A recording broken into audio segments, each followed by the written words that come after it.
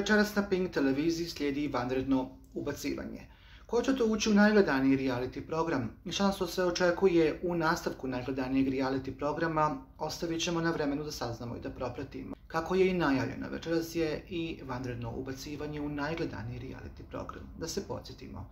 Miona Jovanović i Nenad Aleksić Ša su pobjegli iz reality programa, diskvalifikovani su. Međutim, mnogi očekuju njihov povratak u najgledaniji reality program. Javno se pita da li će to biti uskoro ili će to sačekati neka druga, možda bolja vremena za njih dvoje. Sve u svemu javnost ne prestaje da broju njima, javnost ne prestaje da priča o Mioni Jovanović i Nenadu Aleksiću Ša. Pa tako mnogi očekuju da će oni biti možda čak i vraćeni nazad u reality program jer su jako, jako zanimljivi i interesantni.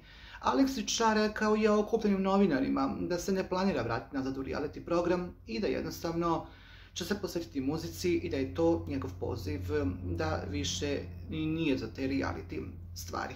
Sve u svemu uvijek se čovjek može predomisliti, a da li će se on predomisliti ili ne, ostavit ćemo na vremenu da saznamo i da propratimo da li večeras vanredno ulazak će biti da vrate Mionu Jovanović i Nenada Aleksića Šam ili će potpuno neko treći ući, ostavit ćemo na vremenu da saznamo i da propratimo jer večeras na Pink televiziji vanredno ubacivanje u najgledaniji reality program Elita 8. A nama preostaje samo jedno, a to je da pratimo Pink televiziju i da saznamo ko to večeras ulazi u najgledaniji reality program i da li će ta osoba napraviti nezapamćenu pometnju u tog reality programa ili će biti sve po starom. Večeras na Pink televiziji vanredno ubacivanje u zadrugu.